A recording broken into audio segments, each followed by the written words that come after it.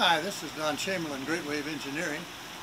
Uh, a while back, uh, my friend Richard, the Pond Guru, developed a uh, filter rebuild kit uh, in the UK, uh, utilizing uh, coarse and medium reticulated convoluted foam, along with a fine polyester matte filter polishing mat.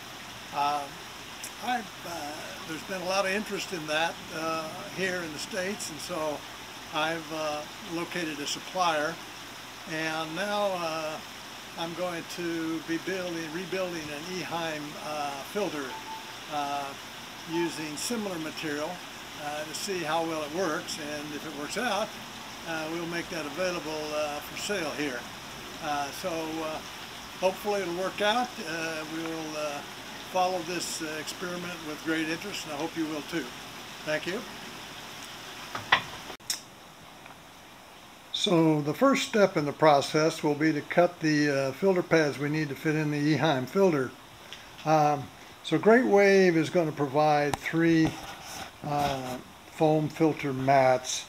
The coarse, which we're looking at right now, is 10 pores per inch. And then we've got a medium which is 20 pores per inch. And then finally the fine quarter inch thick mat which is 50 pores per inch. So this is a little different than uh, what the Pond Guru is offering. He's using a polyester uh, filter polishing mat. I'm, uh, I'm going to try this out and see how it works. And so this is an existing filter pad from the Eheim filter. We're going to use this as our uh, pattern.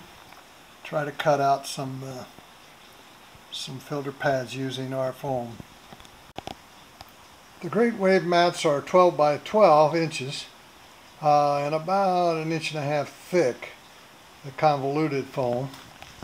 Um, and so uh, we're going to see now if we can cut out a reasonable facsimile of that uh, Eheim foam.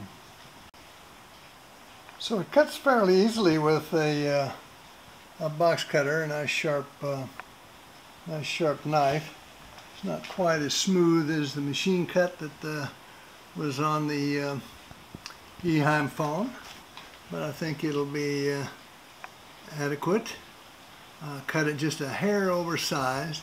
Want to make sure we get a good tight fit in there. So now, I'm going to do this again for the other three, or the other two pads.